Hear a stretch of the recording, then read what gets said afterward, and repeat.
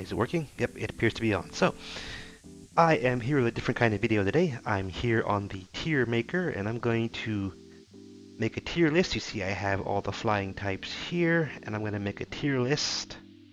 We have S tier being the best down to F tier which is garbage. Uh, flying types that are making, it would make good air rides. So here's the rules. No megas. So uh, Mega Pinsir here is already out. No Gigantamax. So Gigantamax Corviknight's not here. And um, we're using only final forms. So these are all the fully evolved ones here. And so the rules are which Pokemon, so Dartrikid doesn't count either, which Pokemon would be good rides if you were able to attain them in real life using real life standards. So let's go ahead and get started. So Lugia here is going straight to the S tier because I'm biased. It's big, it's bulky, it's built like an A10, and make a very, very, very, very, very stable ride. You can see it's got these nice long wings, can be up there forever. It's awesome, and uh, it was a good ride in the Pokemon movie. That being said. Lugia's length, according to the Pokedex, is let's see, 5.2 meters. That count the tail, which is um. Okay, here we go. 5.2 meters is not. Whoops. did that wrong. 8 meters. So this uh, little private plane that you see here is actually bigger than Lugia. So yeah, that's about Pokedex size Lugia. That being said, movie Lugia is probably, I can type it properly, a heck of a lot bigger than it should be. Movie Lugia is definitely off the scale. You see here, Ash being told to get on. That is not the size of a Cessna. That's a huge bird. That's the size of at least a. You could probably fit two or three on that plane. That that plane is huge. I mean, this bird's huge. So yeah, you could put like two on the neck and a couple on the back too. And with this movie Lugia, it's huge, like I keep saying. So um, Still, that's not big for an airplane though. That'd be about the size of, uh, just from judging, supposing Ash is a normal child. Maybe the size of a Learjet. A small Learjet. Still not big for airplanes, but... So, turbulence would be a thing, but it's big bulk. 260, 216 kilograms, double the weight of a human. More than double the weight, 400 pounds. It would, um, it wouldn't be the stablest, but it'd be okay. So now let's go to who else is going to be in the S tier? Gyarados. Legends Arceus. If you play Legends Arceus, you can see it can fly. It's a nice long mon. It's got a big, uh, yeah, it's big. Doesn't undulate. It's awesome. And it does it get sunny day? Gyarados get Lugia gets sunny day. It's also it could handle the weather issues there. You wouldn't have to worry about unstable air turbulence because it could just use sunny day. Does that's alright, it still goes in the S tier. Let's go with um, Dragonite here. Dragonite's about 7 feet, but it flies really fast. I'm going to put it in the A tier here because the fact that it flies supersonic speeds, if you cannot duck out of the airstream, it would kill you from just the air running in your face, for example. Let's go with Concorde here. You've all seen Concorde. Concorde's the very famous airplane. This is the Concorde. Flew Mach 2. So Concorde, speed in knots. Mach 2. 220 knots, 1350 miles per hour to knots.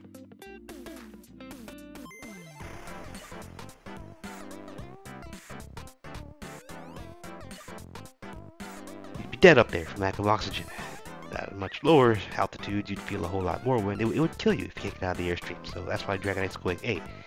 Because if you are get a big enough Dragonite or you happen to be a small enough human, you could probably duck out of the airstream. Or you could just tell Dragonite to slow down. So let's go Ho-Oh straight to the S tier. Johto Legends are taking this straight to the S tier for Ho-Oh. Then reads. Adiabatic lapse rate, 2,000 drops 2 degrees Celsius per 1,000 feet. So as you get higher, it gets colder because of the lapse rate. Ho-Oh is a fireball. It can actually take care of that. So Ho-Oh here is gonna probably be our champion. Let's see what else we got going on down here. Yveltal. I want to put it A because it's bigger than Lugia and Ho-Oh. But by getting near it, you might die because that's what its ability is. If you if it likes you, maybe it won't kill you, but um, that's why it's an A and not S. Your boy Charizard. Oh boy. Your boy Charizard. What has your boy Charizard got going on for it? Your boy Charizard is 90 kilograms, 5 feet. So you could get a big enough Charizard to reasonably be a good ride. I want to put it A tier because I guess it can keep you warm, it can keep you up there. It's not as good as Dragonite, but it'll be alright. So let's go with what's next. Zapdos. Let's go with Zapdos here. What's Zap Zapdos? 5 feet, 52 kilo kilograms, and apparently it summons storms. So that's not, none of that's really good for your stable ride. So I'm gonna put Zapdos, um, we're gonna make Zapdos mid tier. Not good, not bad. Could be better. Could be worse. Yeah, it's gonna be mid tier. It's not something that I would do. I would ride Braviaries. Let's take both of them at the same time. Hisuian Braviary. And normal Braviary. I'm gonna go both A tier because we saw Legends Arceus they did it, but they needed to carry a basket, and they could only glide. So assuming you rode on their backs, take. I'm gonna have to knock it down to B tier. I mean, it's not as good as these guys because of size, but it can get the job done. We saw Legends Arceus, so we're gonna have to stay keep Braviaries on the B tier. here. Um, Dodrio has no wings, but somehow still flies.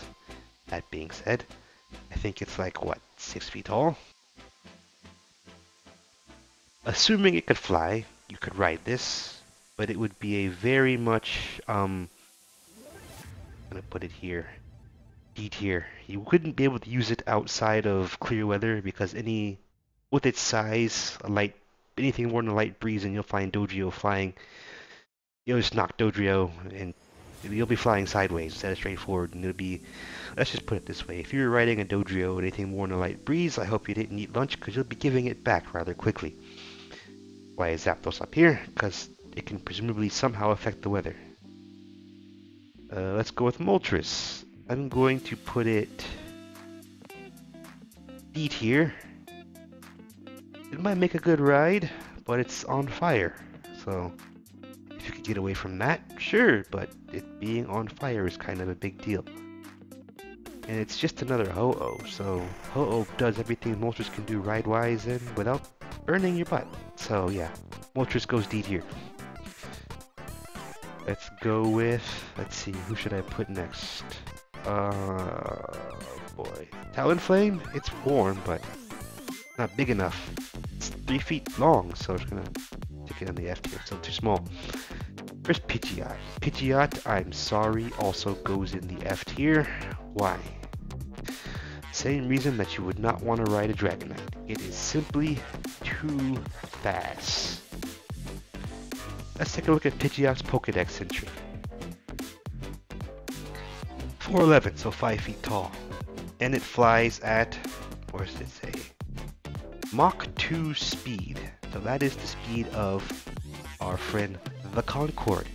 In miles per hour, that's how fast it flies. So that much wind is going to be blowing in your face when riding a Pidgeot that's only 5 feet tall and you're not going to be, it's not big enough so you could duck out of the airstream. So it's going to potentially rip your skin off at best if you're riding a Pidgeot, but it's just too fast. No, I'm sorry, Pidgeot fans, it's F tier. You don't want to ride this thing, it's like you don't want to ride Talonflame. Uh, let's see. Let's go. Galarian forms of Rayquaza. I'm gonna put it mid tier. This is probably gonna piss a lot of people off. Rayquaza's big, but have you seen Rayquaza flying? So, when you're doing real flying, something called the vertical velocity you kind of have to pay attention to. That's how fast you're climbing or descending.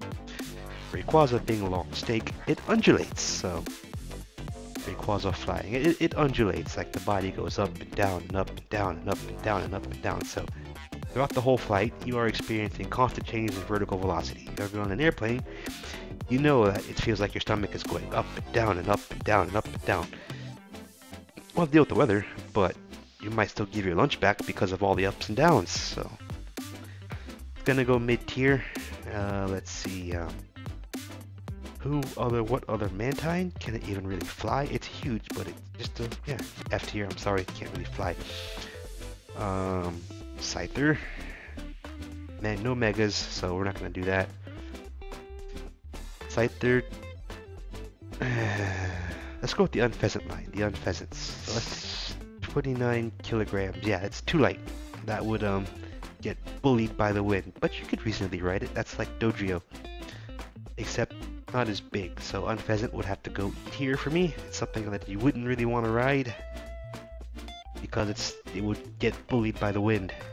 Uh, let's see. Oricorio, all Oricorio forms. I have to put them here because they're too small to ride. I'm not going to put all the small ones in because, I mean, yeah, Skarmory. Let's take a look at Togekiss first. Togekiss seems reasonably big enough. 4'11", good 5 feet, 38 kilograms. Oh, that's light. That's light. No, it's going to get bullied by the wind. So uh, I'm going to make that E tier because of size and weight. You're going to get bullied by the wind when you're flying that thing. And that, that's not what you want. It's to unstable air. The lapse rate doesn't have any fire to kind of boost it. If you fly near mountains, this thing is if you're going fast, if you're going slow, it's gonna get bullied because mountainous air is unstable because the airflow is bending around the mountains. So yeah, Staraptor, Staraptor, Larry Sig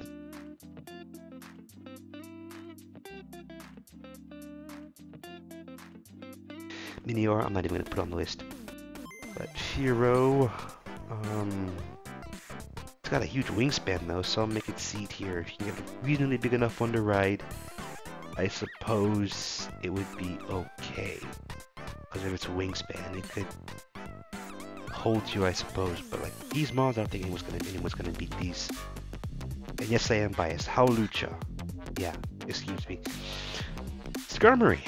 Let's take out Skarmory. Skarmory might be a good ride mod. Oh yeah, 50 kilograms, 5. If you could get past its sharp feathers, like put a saddle on it, Skarmory would be pretty good. I like Skarmory as a ride mod. Skarmory can go right here with Braviary in the B tier. Uh, this is a little, I don't know. But these three tiers I like. You could go right here with Braviary in the B tier. Let's check out Articuno, our last Kanto legendary. 5 feet, 54 kilograms, 100 pounds. I mean, you're gonna get bullied by the wind, yeah, but supposing Articuno has to. I can reasonably get a big enough one, so I'll make it to go B or A tier. I'm gonna put it a B tier. I'm gonna put it B tier because of these guys could all reasonably be bigger, especially Yveltal here. Would be S tier except for the fact that it could possibly kill you. Um, Dragonite's too fast, Charizard could reasonably big enough. Articuno... Let's move it up to the A tier. Because it could reasonably be as big as Charizard. And I guess because it's an ice Maybe it's used to flying in the wind. I mean, you're gonna feel it still. We'll make Articuno A tier though. Zapdos C tier because of its size. Um, Bombirdier. That might be an interesting one. Check out Bombirdier. So you get one that's like good six footer maybe, five pounds. It carries rocks normally. So it's pretty strong bird. It's got size. Might get a little wind bullying, so we'll make it B tier. We'll make Bombirdier the B tier. Celesteela, we're not putting that up there. Um, Aerodactyl. Let's take a look at Aerodactyl.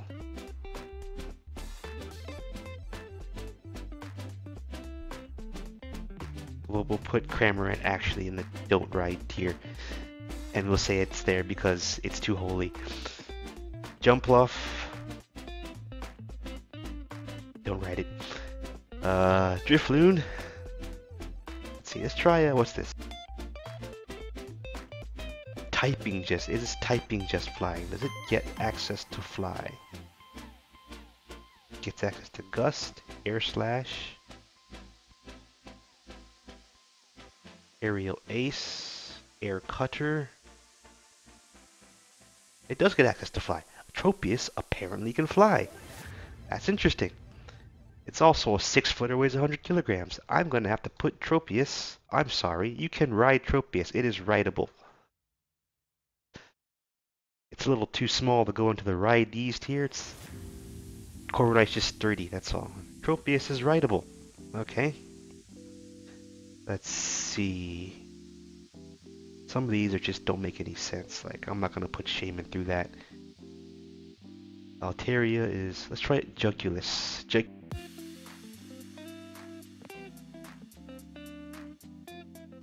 uh, that's in feet. I want meters.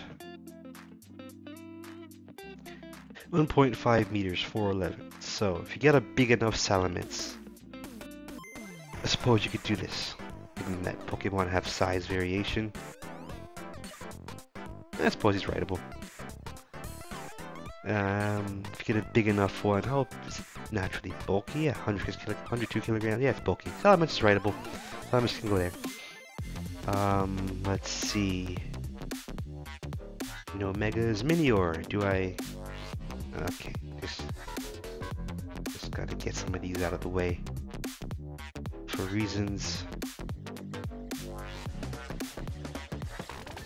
Okay.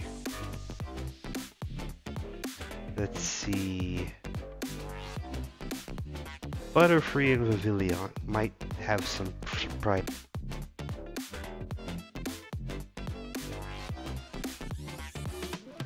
I think it's literally a rocket. So yeah, it goes into the long haul transporters tier. You can stay right where it is. Um, this one doesn't, I'm not gonna put you, no Galarian forms, no Megas. Pelipper.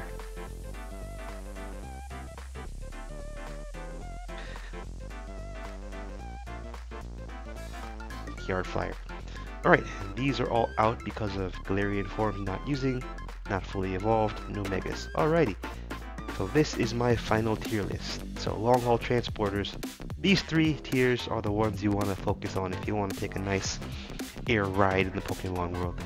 Especially this tier. And yes, Gyarados here as a serious thing. Cramorant is, you don't want to ride it because it's too holy. Why would you want to ride something this holy? Just, just don't do it. Don't ride the Cramo. Okay, um, yeah, Tropius is surprising. I was not expecting it to be as big as it is. It's rideable. Pidgeot down here is too fast. It would you would die from riding it. Mantine probably can't fly that well.